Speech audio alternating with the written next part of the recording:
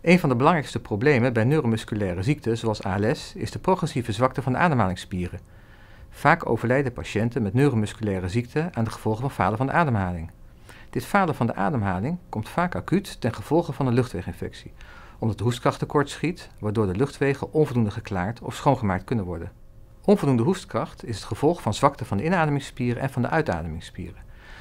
Bij ALS is er ook vaak zwakte van de bulbaire spieren. Dat zijn de spieren voor het spreken en het slikken. Om dit goed te begrijpen is het van belang om te weten hoe het proces van het hoesten werkt. Het hoesten ziet er als volgt uit.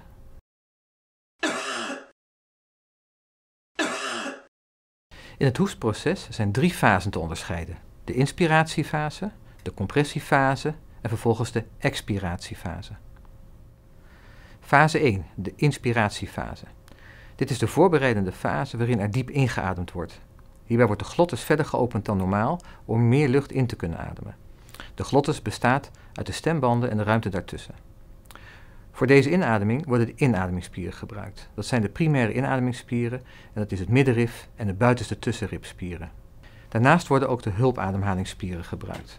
Deze worden bij gezonde personen alleen gebruikt bij afzonderlijke diepe of krachtige ademhalingsbewegingen, zoals het hoesten. Deze hulpademhalingsspieren zijn de hals, arm en de rugspieren die de ribben en sleutelbeen heffen. Het gevolg van het diepe inademen is dat de uitademingsspieren flink opgerekt worden. Dit zijn de buikspieren en de binnenste tussenribspieren. Fase 2, de compressiefase. In deze fase neemt de druk in de luchtwegen fors toe doordat enerzijds de uitademingsspieren krachtig aanspannen en anderzijds de glottis sluit. Fase 3, de expiratiefase. Deze fase start met de plotselinge opening van de glottis, waardoor de ingeademde lucht krachtig ontsnapt en speeksel, slijm en vreemde deeltjes meegevoerd worden naar de keelholte, waar het vervolgens ofwel ingeslikt kan worden of verder naar de mondholte kan om vervolgens uitgespuugd te worden. Hier ziet u het gehele hoestproces nog één keer normaal en één keer vertraagd.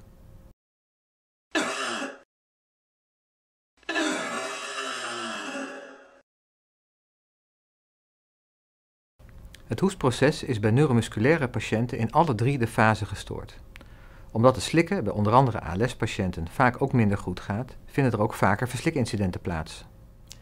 In de inspiratiefase kan, als gevolg van de verminderde kracht van de inademingsspieren, minder lucht ingeademd worden, waardoor de uitademingsspieren ook niet zo ver uitgerekt kunnen worden. In de compressiefase kunnen door zwakte van de bulbaire spieren de stembanden niet goed gesloten worden, waardoor de toch al mindere hoeveelheid lucht die ingeademd wordt nu niet goed vastgehouden kan worden, met als gevolg een lagere drukopbouw in de luchtwegen.